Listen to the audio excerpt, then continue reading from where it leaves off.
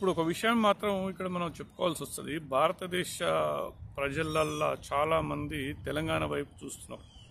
ఎందుకంటే కొత్తగా ఏర్పడ్డ తెలంగాణ రాష్ట్రము తొమ్మిది సంవత్సరాలు పరిపాలించిన నాయకుడు భారతదేశ ప్రజలని వారికి ఉన్న ఓటు హక్కుని కొనుగోలు చేసి తద్వారా రాజకీయ లబ్ధి పొందాలని చెప్పేసి రా- ప్రముఖ రాజకీయ విశ్లేషకులు జర్నలిస్టు రాజ్దేశ్ రాజ్దీప్ సర్దేశాయి చెప్పడం ఆసక్తికరంగా మారింది.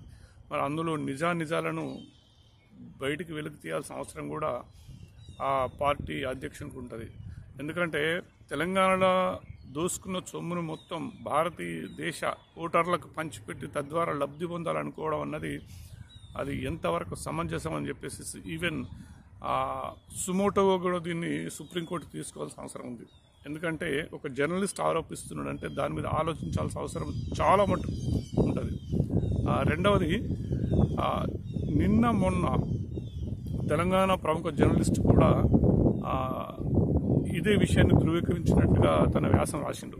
అదేంటంటే తెలంగాణ భూముల్ని తెగనమ్మి ఆ డబ్బుతో భారత దేశ ఓటర్లను కొనుగోలు చేసి తద్వారా లబ్ధి పొందాలనే కాంక్ష అతని లోపల ఉంది అని చెప్పేసి ఆయన కూడా చెప్పారు సో ఈ ర- ఈ రకంగా జర్నలిస్టులు బయటకు వచ్చి ఇవాళ మాట్లాడుతున్నారంటే నిన్న మొన్నటి వరకు సోషల్ మీడియా జర్నలిస్టుల మీద ఆంక్షలు విధిస్తూ ఇప్పటి వరకు అరెస్ట్ల పర్వం చేస్తూ వాళ్ళని వాళ్ళని అరాచకాలకు గురి చేస్తూ వాళ్ళ మానసిక సంక్షోభానికి గురి చేస్తున్న ఈ రాష్ట్ర ప్రభుత్వం ఇవాళ ప్రముఖ జర్నలిస్టులు నేషనల్ లెవెల్లో తర్వాత తెలంగాణ లెవెల్లో వీళ్ళు నిజాలని నిర్భయంగా వీళ్ళు బయట పెడుతున్నారు. మరి ఇందులో నిజం ఎంత అన్నది దీని నుంచి అయినా కనీసం తెలంగాణ హైకోర్టు కూడా ఆ, తీసుకో ఉంటుందా ఏందా మనం ఆలోచించాల్సిన అవసరం ఉంది. సో ఇవాళ మనం ఆలోచించాల్సిన విషయం ఏంటంటే తొమ్మిది సంవత్సరాలల్లా తెలంగాణ భూముల్ని దోసుకున్న ఈ రాజకీయ నాయకునికి తగిన గుణపటం చెప్పాల్సిన అవసరం అయితే ఎంతవరకు అయితే ఉన్నది అది బాగా ఆలోచించాల్సిన అవసరం ఉన్నది.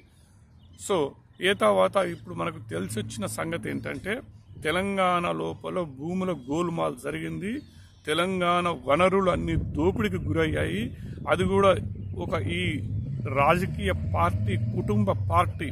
ఇప్పుడు ఒక్కసారి కనుక మనం అతని ఆస్తుల్ని మనం బేరీజు వేసుకుంటే తెలంగాణ రాకముందు అతని ఆస్తులు ఎన్ని ఉన్నాయి తెలంగాణ వచ్చిన తర్వాత ఆయన ఆస్తులు ఎన్ని ఉన్నాయి అన్నది ఇప్పుడు బయటపడుతుంది. రెండో విషయం అతను ఒక్కడే కాకుండా అతని కుటుంబం మొత్తం ఎందుకంటే తెలంగాణ రావడము ఏర్పడమే నిధులు నియామకాలు నీరు అన్న దాని మీద. సో నీరు మొత్తం ఆయన ఫామ్ హౌస్కే వెళ్ళింది నిధులు మొత్తం వాళ్ళే దోసుకున్నారు తర్వాత ఉద్యోగాలు కూడా వాళ్ళ కుటుంబానికి వచ్చినాయి.